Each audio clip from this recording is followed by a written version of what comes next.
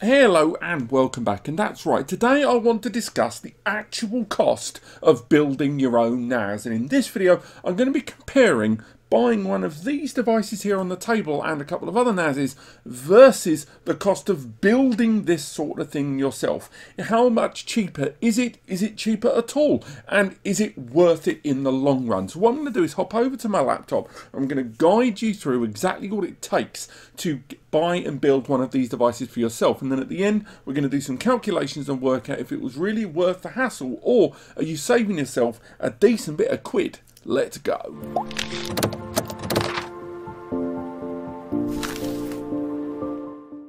Okay, so before we go any further, it's worth remembering that building your own server versus buying turnkey solutions, that is, instant setup devices like Synology, QNAP, Asustor and TerraMaster, is more than just about the money. Yes, an enormous focus of today's video is going to be about the difference in value and the difference in spending, and for a lot of you, how much money you could save, but it's worth remembering when you are buying a turnkey solution, you are buying it because it's turnkey. You're buying it almost service-led, and one of the biggest reasons that people go for turnkey solutions like Synology, QNAP, Asustor, TerraMaster is that they are combined hardware software solutions. And although when you are buying it, um, either as a whole or you're trying to build your own NAS, the hardware is what you're paying for, it should be highlighted that on NASs and turnkey solutions, the software factors into that pricing, something I will cover in greater detail later on. Also, if you just want a breakdown analysis of the spending,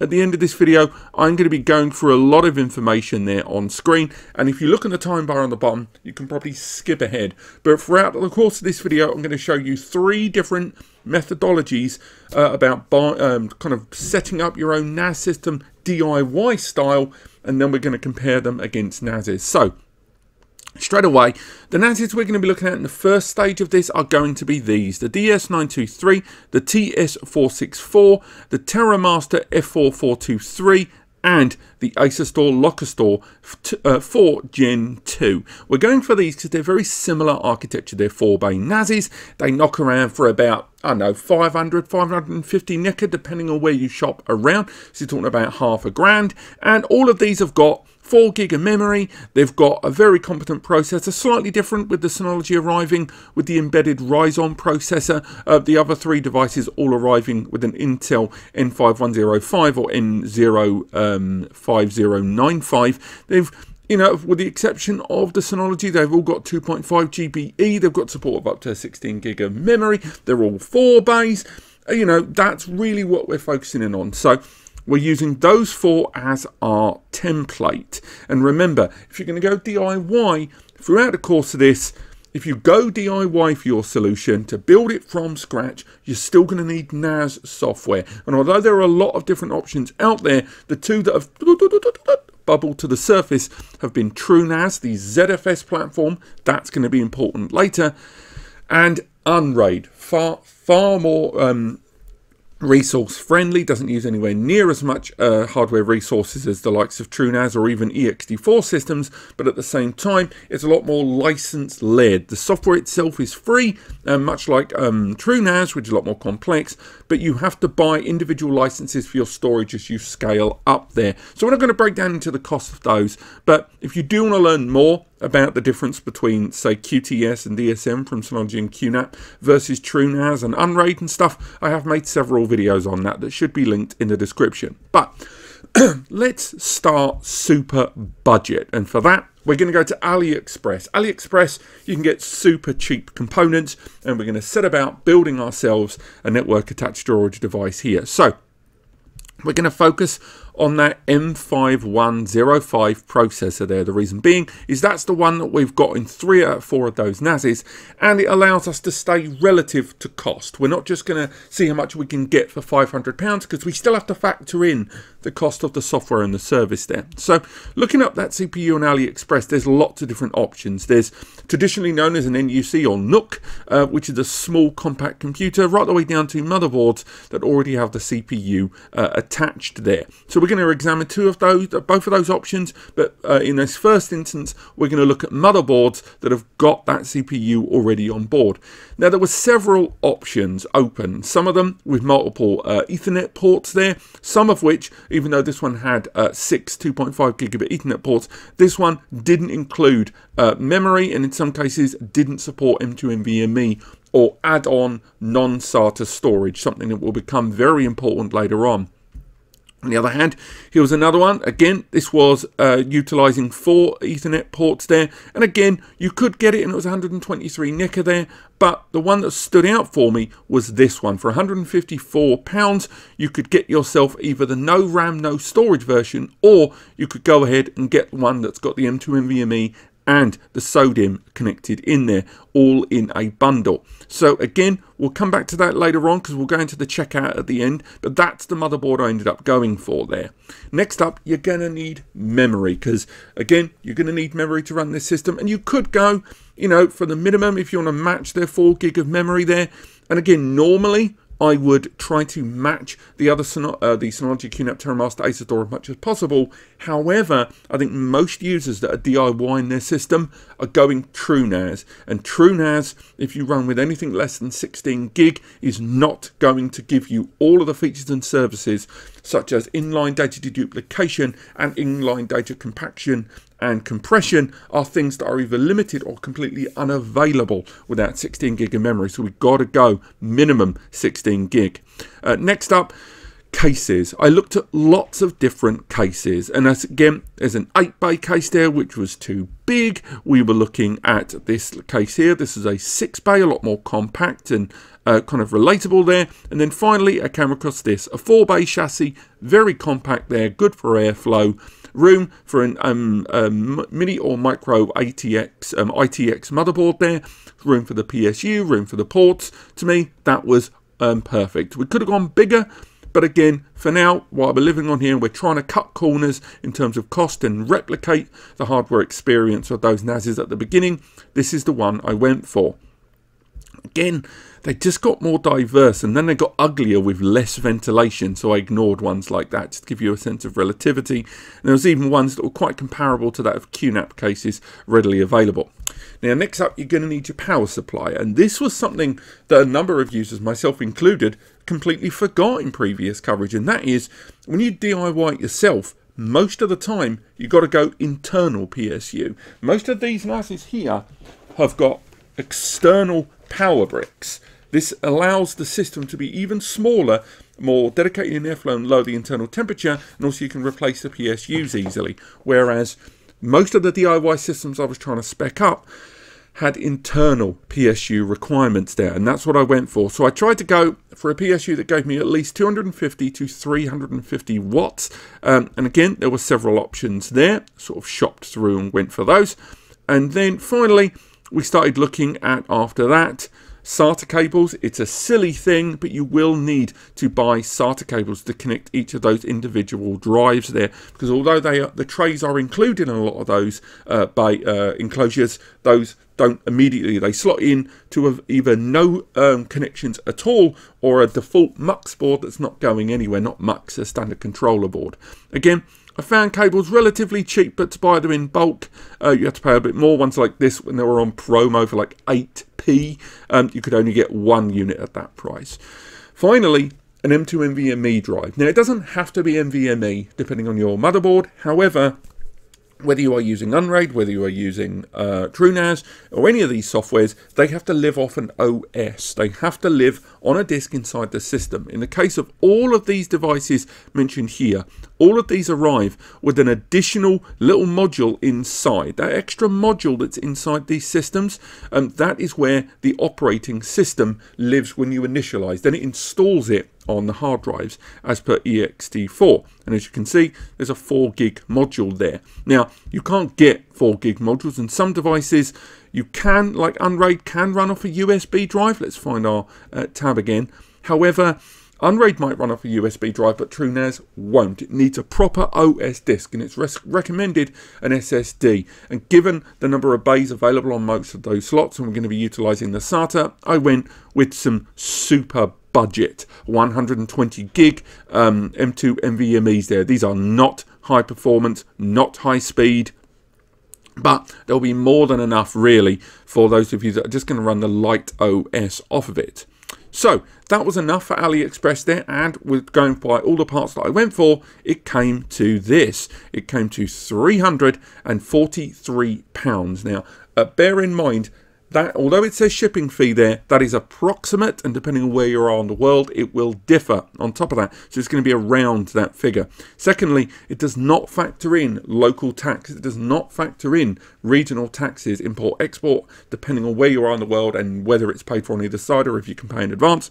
It doesn't factor any of that in. But again, we spent 1288 on an SSD. 59 um, pence on individual SATA cables there, 40 pounds on the PSU, 48 pounds 98 pence on the case, and 222 pounds for the uh, motherboard uh, onboard memory there, and the whole combination makeup there. So again, around about 300 odd spend there, not too shabby. So again, if we make our way back, we can see what if, because I'm sure a number of you in the comments are wondering, I don't want to build a PC, but I don't want to go turnkey. Why not, why not I just buy an Intel NUC and, you know, slam some storage on that? Well, let's have a look. Okay, so let's go that little NUC method there, the little tiny mini PC. And again, if we try to get the DS923, it's knocking around down there for about $580. If we try and go for the QNAP, that's knocking around for $573. If we try and go for the TerraMaster, the F4423, that's $515. And finally, the Asustor there is knocking for $589 at the time of recording. So let's start off. First thing we want to look at is what was the right kind of box we were going for there. And as you can see, there was loads of options there. I wasn't bothered about whether it came with Windows or not, but most of them you didn't have much choice. I just knew I'd had to go for a system that's got at least 16 gig of memory and that same CPU to be comparable there. Next, we'd have to need storage because those little uh, boxes there do not have an abundance of storage. You're going to need a means to bolt on some storage. So rather than go for a hardware RAID, um, I went ahead with the Orico 4-bay box there that allowed us to have four SATA bays delivered to the system and therefore giving you a, a storage, but you'd have to manage the RAID from within that Intel system there. Again, we can look at it there, just $189 for that. And again, we could have gone the ATX motherboard method here, uh, utilizing Amazon, but none of the options I saw there gave us the ability to buy that CPU board combination. And again, as we move forward, that's the NUC we decided to go for, for $259. We make our way forward. We even considered, myself and Eddie, while looking at this, to go for this device here, which was an N5105 kind of mini rack mount PC but there were so many things that made this very difficult to work around with. It has no system, plus it costs more than the NUC thing we saw, and we'd still need that storage. But overall, the total came to $448. That's right, you're paying you know noticeably more than DIYing it yourself to buy two devices that are at least relative to what we saw there on AliExpress quite turnkey in their nature and what we're going for is slightly less turnkey for those so Again, you were definitely saving more money when you were going for the AliExpress method, but a number of you, I'm sure, in the comments are wanting to say to me, well, the reason I'm going DIY isn't because I want to replicate the boring 4-bay, you know, micro low efficiency methodology of a NAS. I want to go big. The whole reason for this is I want to, you know, go for a nice aggressive PC builder specs there. So why not? How about we see what it would cost to build the QNAP TVS H 874, an Intel Core 12th gen system. Alright, let's crack on with that. So the QNAP TVS H874 is kind of their big powerhousey desktop unit at the moment and right now it's selling ridiculously well insofar as finding it in stock in places is really hard going. There's an i9 version out there, there's an i7 version out there, very hard to come by, but luckily the i5 for the basis of our comparison does still exist and it's knocking around for $1,737. That is a lot of money. So, if we carry on moving forward, we can have a little look at how these things shape up. So, First and foremost, we were looking at an 8 bay case. I went ahead and uh, sort of going through and sort of sorting out cases there and found quite a nice QNAP looking case there, but we'll get to that in just a moment. Next up, there was, uh, after the case, what are we going to do about the PSU? Because this system does not arrive with a power supply unit. It doesn't come with the processor or anything. So once again, we've got to build it up. So next up was that precise CPU there. And as you can see, you can get that CPU for $182 there. If we move along, from $182, we can make our way to get a CPU fan, because that's right, we're going to need a fan for that CPU. So I went ahead and gone for modest but good enough, but just bear in mind this is going to be a 24-7 system. And then from there, started looking at motherboards to put that CPU into, because although there were bundles for that CPU, the majority of them either weren't available or were bundled with motherboards that were just way, way, way outside of a similar price bracket there. So in the end, I ended up going for this Micro ATX Gigabyte. Um, and again, this doesn't have the CPU, it's just the bare board. So we're going to have to go shopping for our components again. So again, 16 gig of memory for that, um, supported on there, 16 gig, because that, uh, 216 gig, sorry, because the original here you can see is priced up with 32 gig of memory. And I went for the Silicon Power Value Gaming RAM there, $64 for those. Moving forward, we're going to need that boot drive again, so I went ahead and ordered a tra or added to my basket 120 gig Transcend SSD, and then from there we need the SATA cable, so I got a pack of six uh, and a pack of three SATA cables there. Then we need the 2.5 GBE LAN port, because remember that motherboard is not designed as a NAS motherboard; it's only got one Ethernet port, so I had to get a 2.5 GBE two port card. Moving forward, we need that PSU. It's got to be minimum 5 550 PSU. Um, so we went ahead, I believe, with the dagger, and there is our total. Came to eight, um, $830, which again, bear in mind, that QNAP was $1,700 there. So at least in terms of hardware, we're making something of a saving. So why don't we summarize all of these numbers and see what we can equate from that. So in order to work out just the kind of money we've either saved or not, we have to work it all out in dollars. Luckily, AliExpress was the only one that we weren't running in dollars, and now we've converted those costs back over to dollars there, we can see that it's come to $401.97. We're not going to worry about the cents, we're just going to round down on that one. It's also worth highlighting, don't worry about that saying the M2 NVMe there included at the bottom, it hasn't actually checked it. I've gone in, it's fine. So after that, we can run through all of the numbers together. So it's minimize that. So first and foremost, that was our specifications we were looking at there. And if we scroll down, we're able to see the first round and the second round indeed of that testing. So Again, it came to $401 for the AliExpress super budget methodology. And with that, we would have saved $179 on the Synology, $172 on the QNAP, $188 on the Asustor, and $114 there on the TerraMaster. Now, when it came to the getting the NUC, the little box, Intel or otherwise, um, connected with a JBOD DAS 4-bay, we could see it was $132 saving, $125 saving, $141 saving, and $67 saving on Synology QNAP, Acer and TerraMaster, respectively there. However, remember, this, of course, it is a saving. It's clearly cheaper to buy that hardware and build it yourself but build it yourself has to be the key word there. Now, it'd be very easy for a number of us to say, oh, my time doesn't cost me anything, which, you know, you might be slacking yourself off there, but more, um, as you can see at the bottom there, I worked out the TCO, total cost of ownership, time investment, and maintenance concerns that you're going to need to factor in. First and foremost, more warranties. Now, this is less appropriate here on the Amazon uh, NUC and JBOD, but when it comes to this one, the amount of time and hassle you may go through when having to deal with multiple warranties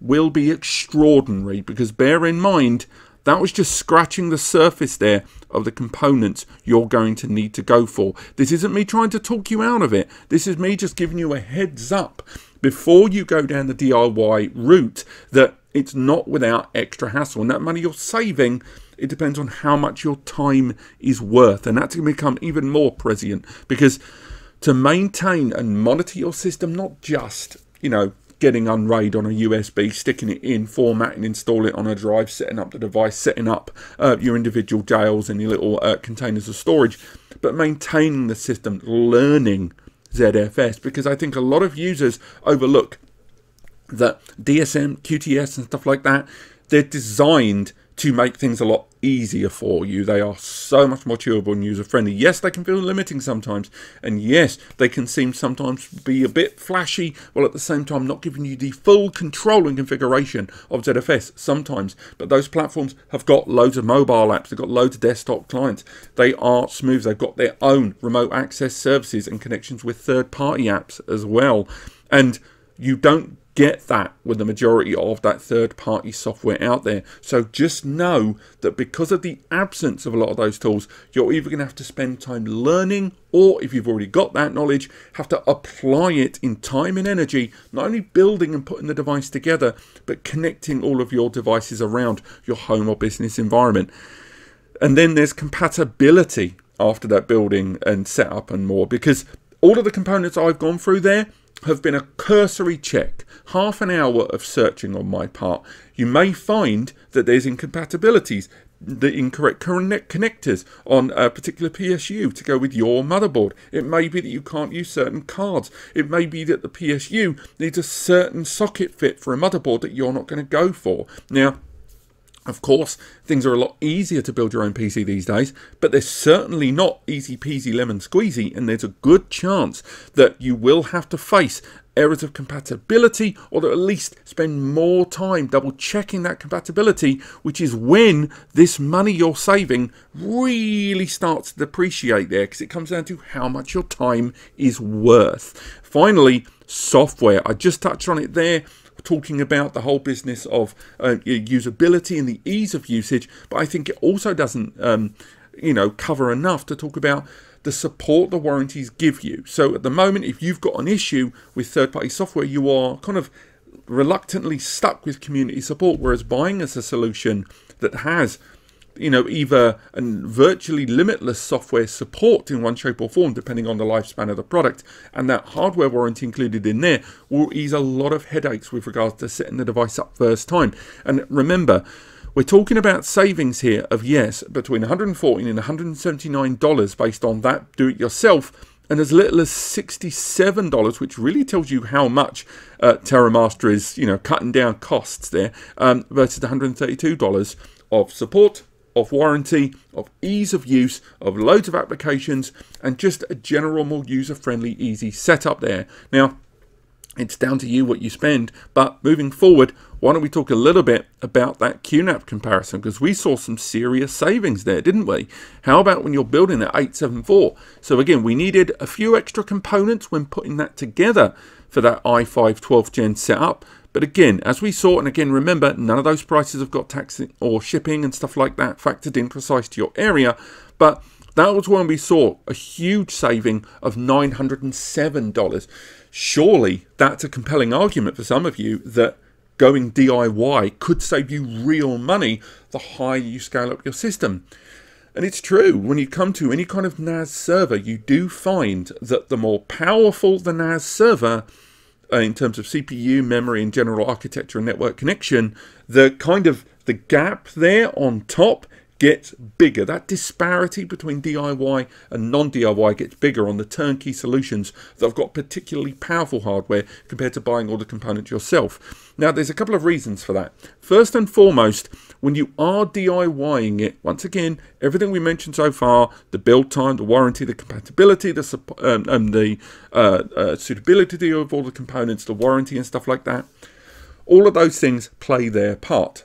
However, these more enterprise, big, enormous solutions have got to be designed to be on 24-7. They've got to be designed uh, for business use. They've also generally arrived between three and five years of manufacturer's supported warranty. The software is designed to last on there for considerably longer than smaller systems. And overall, the reason they cost more is these are designed for bigger businesses who err towards turnkey. They don't go for DIY. They don't go for TrueNAS. They don't go for Unraid. Yes, you can you know build servers for yourself and then let out server space and hosting to others. Sure, if you know what you're doing. but a lot of big businesses, even medium, even small businesses, particularly those that don't want to spend time learning a new whole area of technology, they're not the people that are going to want to go out of their way to build an NAS and maintain a NAS. And particularly when you reach this scale of storage, the less efficient you are being, the more power is being consumed, and ultimately the more it may cost you in the long run to not have an efficient build. This is not me forgiving the QNAP difference there. What I'm saying is, with that price difference, You've got to factor in the software cost, the utilities, and the end user it is designed for. You don't look at a Ferrari and say, my God, that Ferrari costs a lot of money. I only want to go down the shop and back, but I still want that engine. It doesn't work out that way. And I know a lot of you are going to correct me on the car terminology there. I don't drive. It was a terrible simile.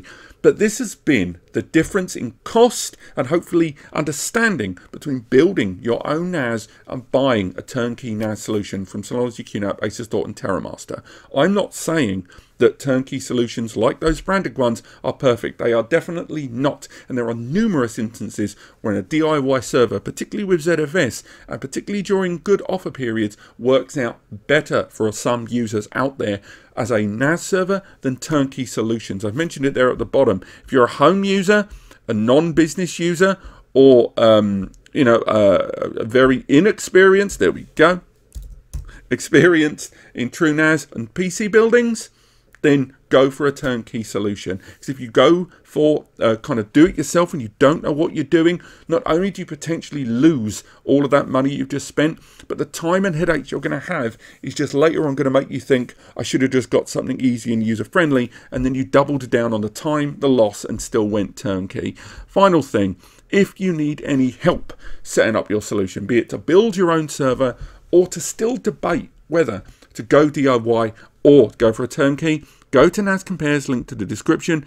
Go to this button here on the right and get free advice from me and Eddie. We link to other resources there, but if none of those can help you, you can contact us for free advice. It can take us a little while to reply to your uh, queries because it gets real busy down there, but we do respond to everyone. Alternatively, ask the NAS community the question on NAS, um, Ask NAS Compares there on the channel. But apart from that, thank you so much for watching. I hope you've enjoyed this. Let me know what you guys think in the comments. I'm sure a lot of you are going to disagree, but let me know down there nonetheless, and I'll see you next time.